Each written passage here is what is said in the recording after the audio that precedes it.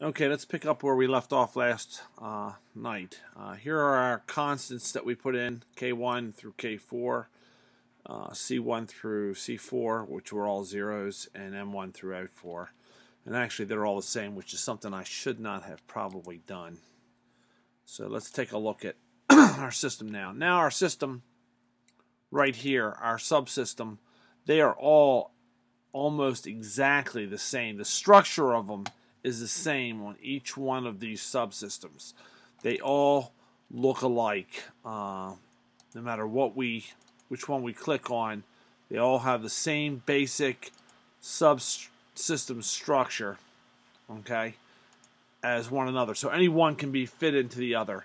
The only real differences are our summing blocks on the two middle spring masses for the building, okay, and um, the fact that the feedback loops, in other words, this system is getting feedback from the first, uh, the lower floor and the upper floor.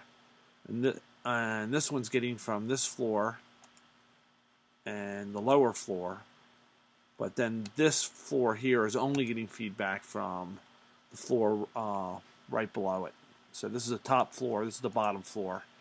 Okay, and when I run this, uh, you can see here uh, that I get the same results that are in the book.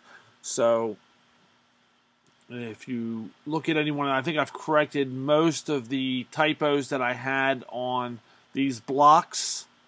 So it'll be easy for you to see. So let me just zoom in here so that this, whoops. Okay, let's start with the top. So you can see this real well.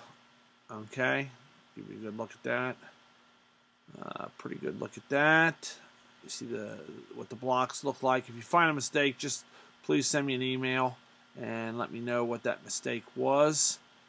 Uh, let me actually label the subsystem mass.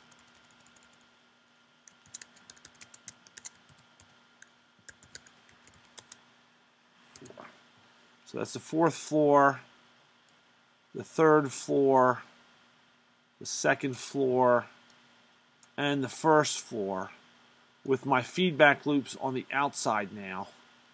Okay, coming back in. And of course, you can see the scope over here. I've got the first floor, second floor, third floor, and fourth floor. Okay, and that is a great jumping off point for building a control system for this. Um, so I think that will make, and you, you see I use a step, but I set them all to zero. I'll replace those when I do my final system with um, just a constant, which is zero, which is my desired output. So I hope this helps you in putting this together.